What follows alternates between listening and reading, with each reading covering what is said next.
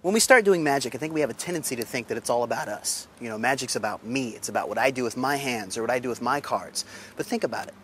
Magic is what your audience perceives. It's the end result. So what your audience experiences and what they remember happening is far more important than what you actually do. Magic for me is not just about tricking an audience. It's not just about fooling someone. Somehow he pulls this string down through the envelope, and the string is in the ring. That was I watched you burn That's it. no longer burnt. Shut up.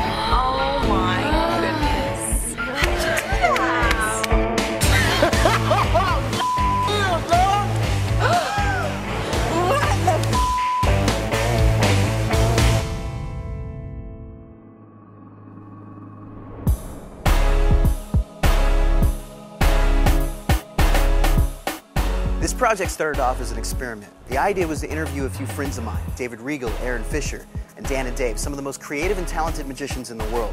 I was interested in what some of the similarities and differences might be between the ways that we approach the art of magic.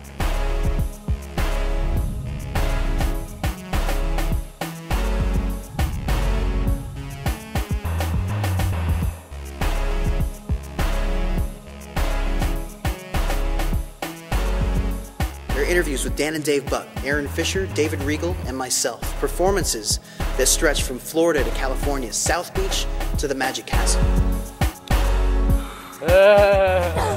No way.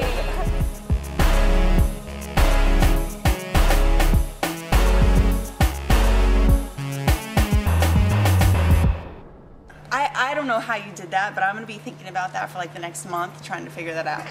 I'm impressed.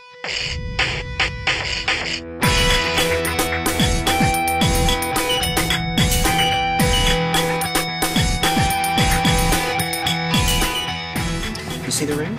Yeah.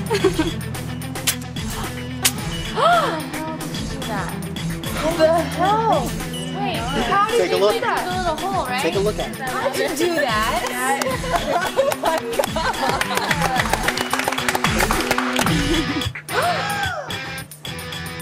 Oh what? And your signature? What the heck?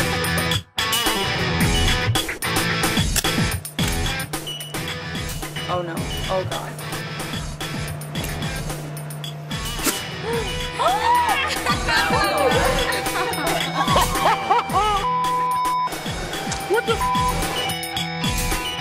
Welcome. Welcome. Welcome.